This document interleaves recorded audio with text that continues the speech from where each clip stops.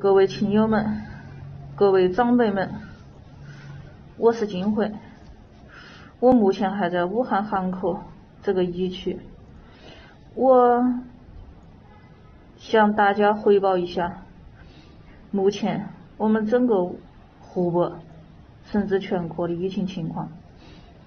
现在已经有九万多人次，这个病毒的传染几率是多少呢？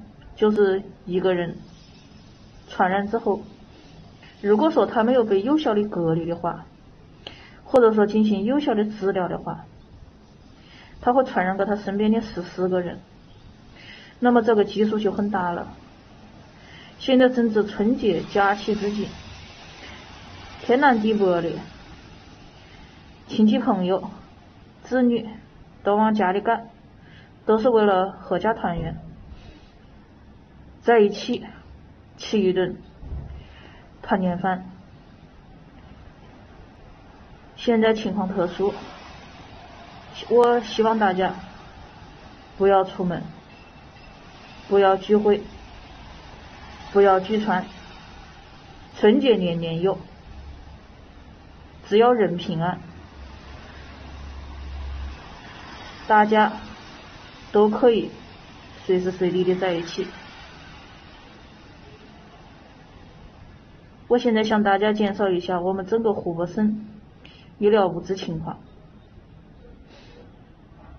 现在武汉市整个医疗系统及湖北省的整个医疗系统都已经越过了我们的上级卫计委及各个行政部门、市政府、省政府，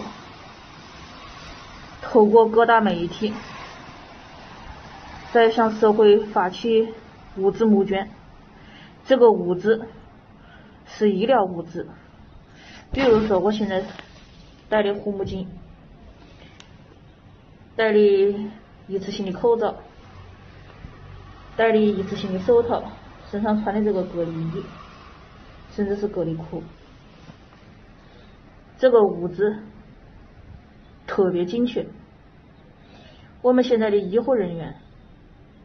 凡是从临床下来的，现在全部都又重新上了一线。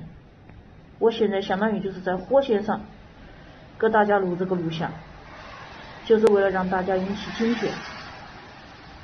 我再强调一次，春节放假期间不要出门，就自己在自己屋里待着，要不然我在前方拼命是为了什么？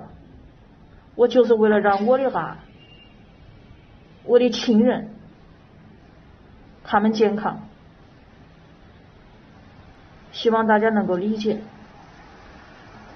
我也知道有些亲戚不在群里面，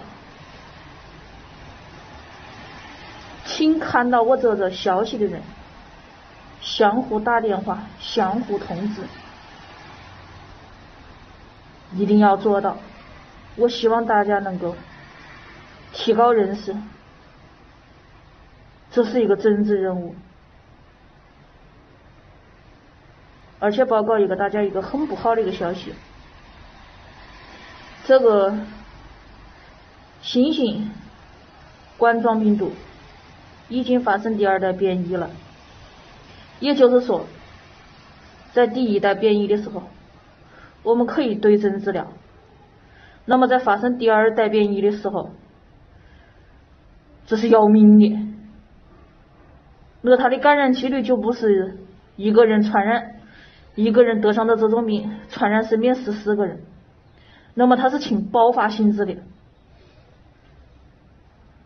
望大家一定要牢记，不要出门，不要串门，不要集会，不要聚餐。